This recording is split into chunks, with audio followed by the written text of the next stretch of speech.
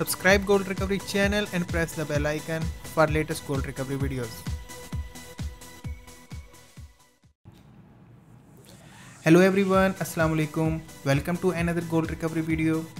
Friends, as you know, I have covered about every type of gold recovery procedure. I hope you have also reached on next level in gold recovery from e-waste. Now it's time to earn something from this work.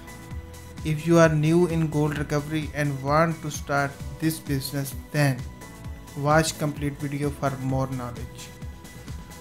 Our many friends face trouble when they want to buy some scrap from market. They don't know that how much gold can recover from any item because of this they can't determine the purchasing cost. I will guide you about every item in this and in coming videos.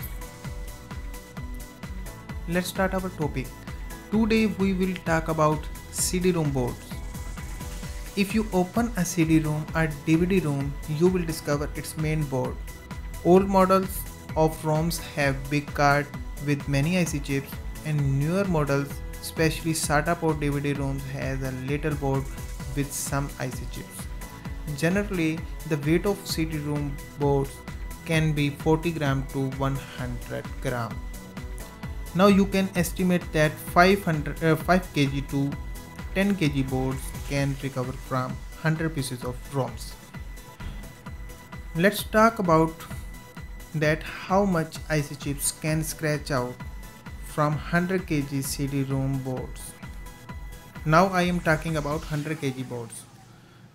If you will scratch 100 kg boards of CD-ROM boards, then you can get 8 kg to 9 kg IC chips. But if you scratch only SATA CD-ROM boards, then results will differ.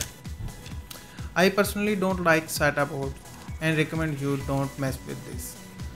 Next question is that how much gold in these IC chips.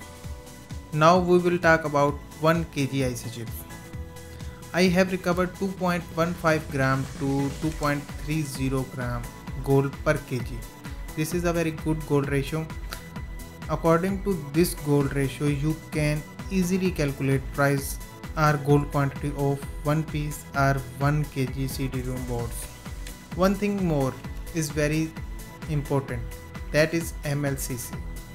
CD-ROM boards MLCC have a very nice ratio of precious metals.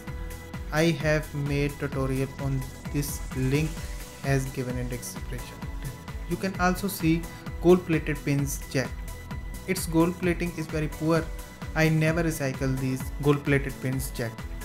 I recycle only its IC chips and sometimes its MLCC.